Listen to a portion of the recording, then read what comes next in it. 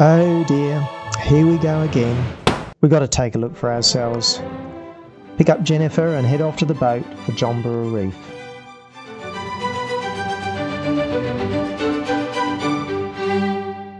It's about a month since they reported the bad bleaching out here. How are the corals now?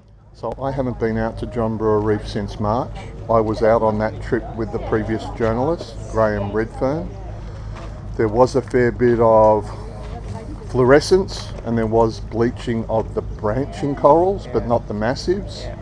Um, I'm expecting that the water temperature will have dropped a bit and it'll be interesting to see whether those corals that were stressed are still living or whether some have died. I'm expecting mixed results. Yes, that's what's interesting. Bleaching is very common, but what matters is if there's coral death. In the past events, there's usually been very little mortality. It's fair way out to the reef, so it's good to talk to the crew about how the bad publicity affects their operation. And there's a bit of suspense in the air. What will we find?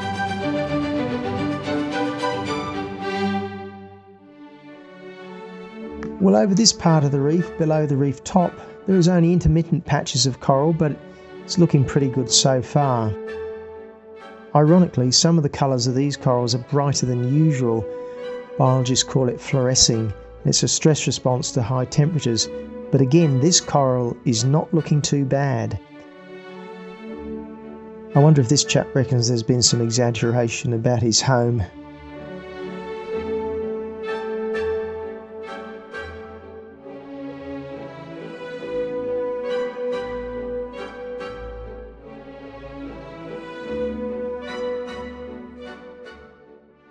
Couldn't say this is looking at death's door. Well, this is the reef top, and it's absolutely spectacular. It's as good as any reef you'll ever see. A bit of bleaching, some fluorescence, almost no coral death. And the fish. This is not a wasteland, it's a wonderland.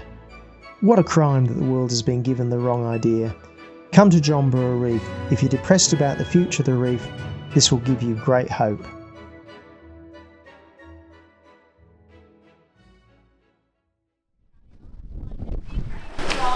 So we're only looking at one small part of one of the 3,000 of the, of the reefs of the Great Barrier Reef. So this is not necessarily indicative of all the, the rest of the Great Barrier Reef, but what we were interested in was to essentially fact check the people from The Guardian and the ABC who said that this was in diabolical trouble.